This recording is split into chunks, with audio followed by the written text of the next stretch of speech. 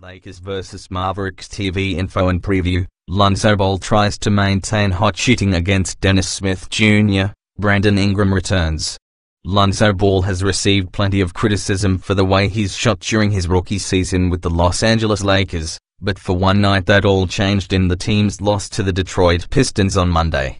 15 points isn't usually thought of as a huge scoring night, but the nearly perfect 7 for 8 clip Ball scored those points on was worthy of praise during nearly season-long shooting slump. The evening was also Ball's second best shooting performance of the year, trailing only his 4 for 4 shooting against the Atlanta Hawks.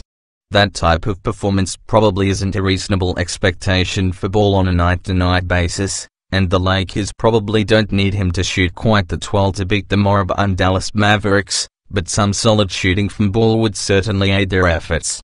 If the Lakers prior two matchups with the Mavericks are any indication, however, they may not get it, as Ball has shot below 40% in both of his first two showdowns with fellow rookie point guard Dennis Smith Jr. Smith Jr. has been one of the few bright spots in what has been a horrible season both on and off of the court for the Mavericks.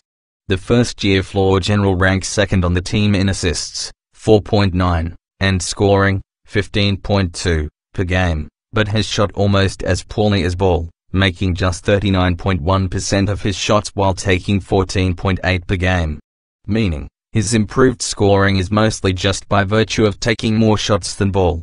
The Mavericks and Lakers have split their season series so far, so Wednesday's game will be a chance for at least one of the rookies to claim superiority in the scoreboard of what should be a years-long rivalry.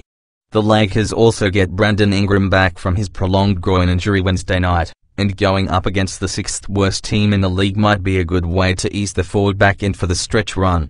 Now that the Lakers are officially eliminated from playoff contention, something that's been the case for the Mavericks for a while longer, there isn't much beyond rookie record bragging rights on the line for this game.